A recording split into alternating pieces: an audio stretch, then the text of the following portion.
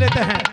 बीचू बीच नगरी के अंदर एक अति सुंदर अपनी बैठने की व्यवस्था करने की ऐसी सुविधा रख देते हैं, जिनको परमात्मा बैठ करके फैसला कर सके और वहाँ पर अपनी दुख और रणनीति बना सके।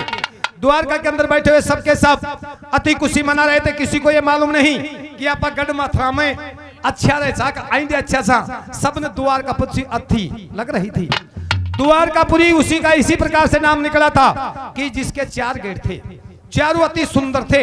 सुंदर के कारण द्वारकापुरी का नाम विख्यात हुआ था।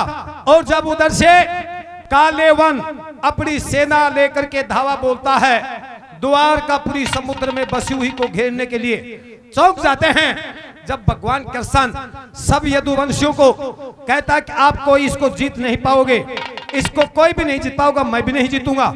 लेकिन मैं अकेला युद्ध करूँगा इससे। ये मेरा वादा है। अकेला ही। क्यों? अकेला क्यों? कि अपना सुमर बामाणु हाथ को ना। इसका अंतिम समय और किसी के हाथ में लिखा हुआ है, जिससे कि मैं अपना आप लेकर के चला जाऊँगा।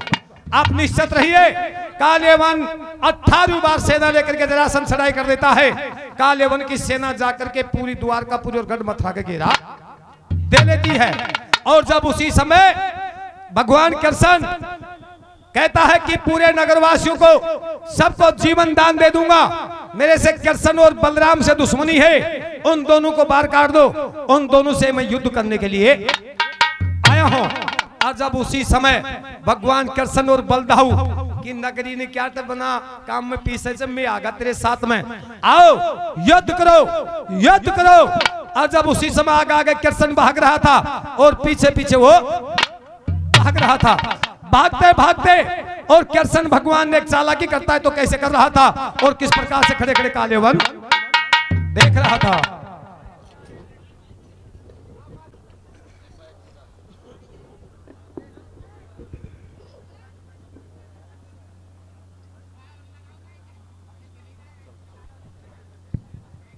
वाची कृष्ण की चालाकी बड़े गोले फाड़ा।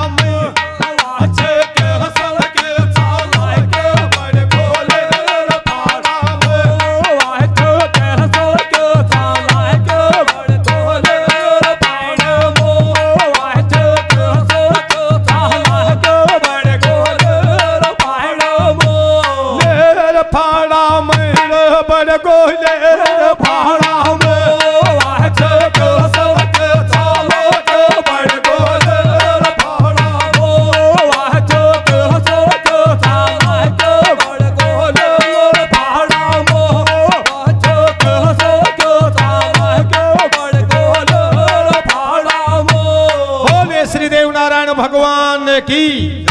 बोले शीतलनाथ जी महाराज की। बोले बस्ती माता की। सबको राम राम साहब।